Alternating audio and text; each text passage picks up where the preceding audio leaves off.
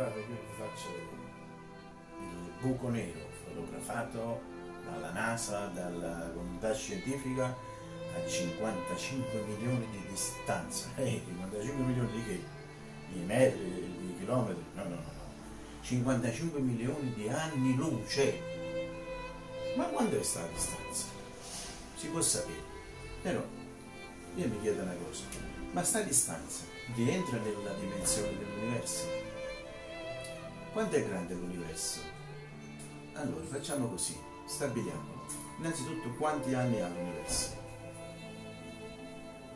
13 miliardi,82, quasi 14 miliardi di anni. E dal Big Bang ovviamente. Il Big Bang è quella famosa esplosione. Dall'esplosione c'è una costante di estensione, quindi di espansione. Vuol dire con la botta, con quella velocità viaggia e si allarga. Ora, quanto percorre eh, l'espansione dell'universo in un anno? O meglio ancora, a che velocità si espande? Si espande a questa velocità l'universo 73,2 km al secondo, cioè veloce.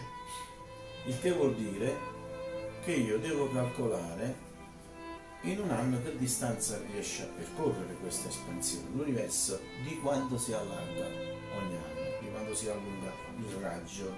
Ok? Questo è il Big Bang e qui c'è il raggio, quindi tutto intorno c'è il raggio.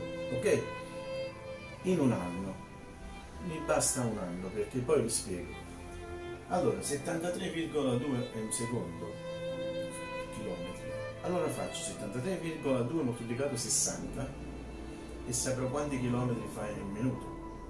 Quindi ancora per 60 e avrò l'ora. Quindi poi per 24 e avrò quanti chilometri percorre in un giorno. Poi lo moltiplicherò per 365,25 e saprò quanti chilometri percorre l'universo in un anno, ok? Con la sua velocità. E viene fuori questo. Ora che faccio io? Ho un anno di percorso, cioè il percorso è spiegato in chilometri. L'universo quanto percorre.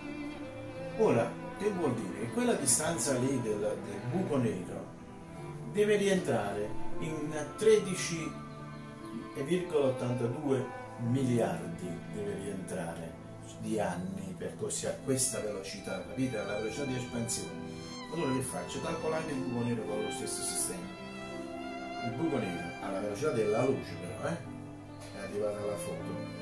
Dunque, la, la, la, velocità della luce corrisponde a circa 300.000 km al secondo. Allora io moltiplico 300.000 km eh, per 60 per 60 è un'ora, per 24 è un giorno, per 365,5 è un anno e questa quota qui di un anno luce lo, lo moltiplico per 55 milioni e, e ho questo risultato. Ora che devo fare? Devo sapere questo, questa distanza qui correndo alla velocità dell'espansione dell'universo quanto tempo ci impiega?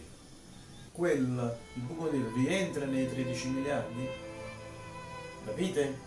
Di anni stiamo parlando. Ok, allora che faccio? Dividendo questo per un anno di questa velocità, io saprò quanti anni ci vogliono per arrivare al buco nero con questa velocità costante, la costante di espansione di un anno, capite?